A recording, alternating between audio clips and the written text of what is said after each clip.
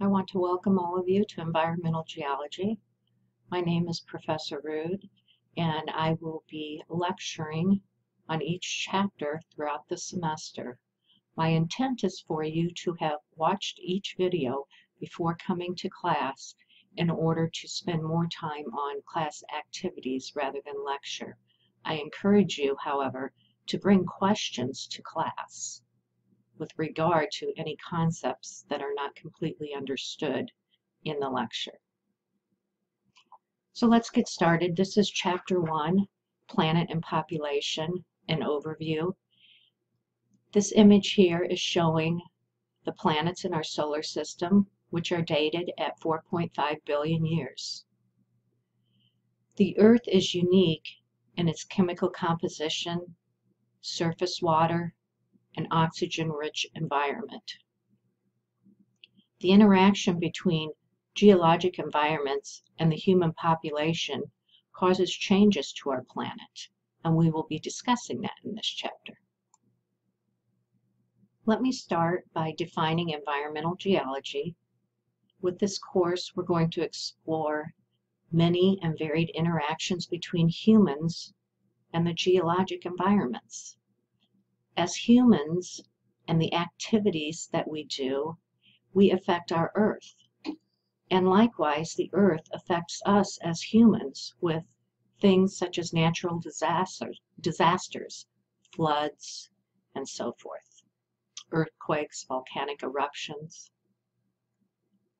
There is only a finite amount of land left on our earth for people to live and as our population continues to grow, it is going to be more and more difficult for humans to live in a comfortable lifestyle. Let's take a look at the early uh, universe. The Big Bang Theory is the most widely accepted explanation of the origin of the universe. According to this theory, the universe was created about 12 to 14 billion years ago from an explosion that hurled matter out in all directions. After that, prior to the Big Bang, all the matter and energy would have been compressed into a dense hot volume, very small in size, and then it exploded and everything flung violently apart. From the material that was exploded during the Big Bang, stars formed and then concentrations of mass were collected together due to gravity, and planets uh, uh, formed. So our solar system, the sun, and our nine planets, eight planets that circle, form from the rotating cloud of dust and gases. And most of the mass ended up in being in the sun. Uh, dust condensed from the gases remaining in the flattened cloud and clumped eventually into planets. And that took place and was finished by about 4.5 billion years ago. Let's look at this visually. Here we have the disk of gas and dust spinning around a protosun, very young sun. Because of gravity, the small pieces of dust started to stick together. Eventually, these formed into small planets, planetesimals. And then planetesimals began to collide to form our planets that we have today in our solar system. What the composition of each planet is depends largely on how near or far from the sun the planet is. The inner planets to the sun are made are considered rocky planets and consist of metallic iron, a few very high temperature minerals with little water or gas. Farther from the sun, the planets have more low temperature minerals present, some which actually have water in their crystal structures. And then still farther from the sun, temperatures are so low that most of the material in the gas cloud condensed. So due to the proximity to the sun, or their distance from the sun, we have a series of planets with different compositions. Here is our inner planets, Mercury, Venus, Earth, and Mars. Then we have the asteroid belt. And then our Jovian or outer planets are Jupiter, Saturn, Uranus, and Neptune. Please note that this scale is logarithmic because the distance is so great. So the planets in our solar system have different compositions and physical properties. In looking at this planet Mercury, it is rocky, iron-rich, dry, and has many craters on it. Jupiter, on the other hand, is very large, consists of gas, there's no solid surface, and it has dozens of moons of ice and rock. Nearer to the sun, farther from the sun, affects the composition of those planets. Let's compare the sizes of the Jovian versus terrestrial planets. The first thing to note is this scale here is equivalent to 5,000 kilometers.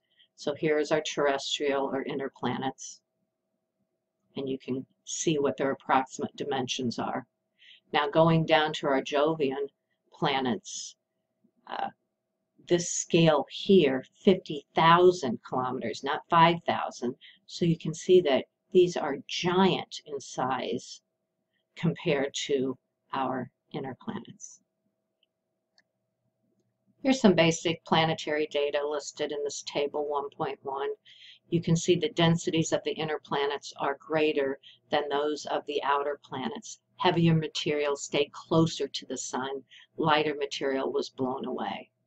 We have temperatures listed and distance from the sun.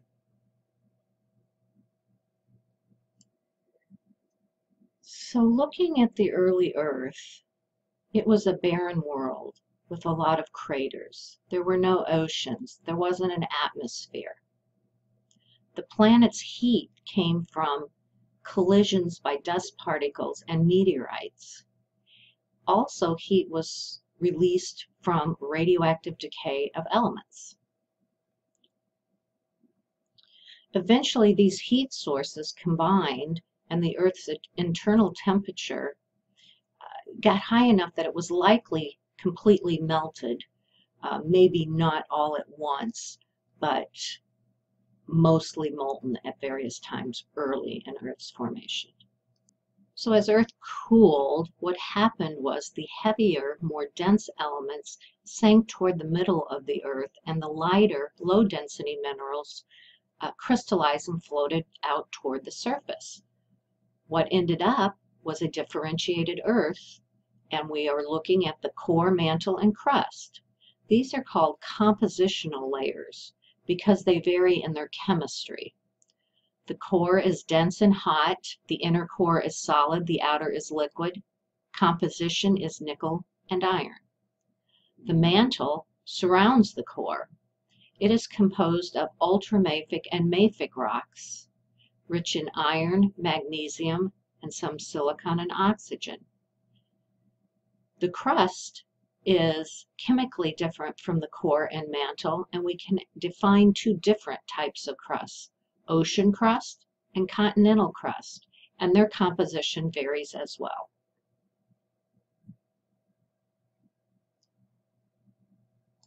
Let's take a look at the Earth's crust, two different types, continental versus oceanic. Continental is more of a granitic, a granite-like composition. Ocean crust is a basalt. We'll talk more about these types of igneous rocks later. So the crust is a very, very thin layer. The mantle is a significant portion of our Earth, consisting of iron and or magnesium-rich silicate minerals. And then the core, the outer core, is liquid. Iron and nickel is its composition. The inner core is solid. Iron and nickel is its composition as well. Here's a visual of ocean crust versus continental crust.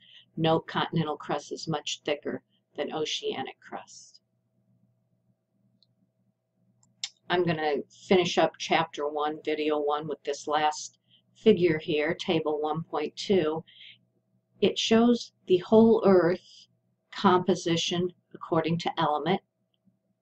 So iron, if you look at the whole earth, is the most abundant element by weight, followed by oxygen. If, however, you look at just the crust, the most abundant element is oxygen, followed by silicon. And this is a weight percent. I'm going to stop now for this first video of chapter one, and we will continue in video two.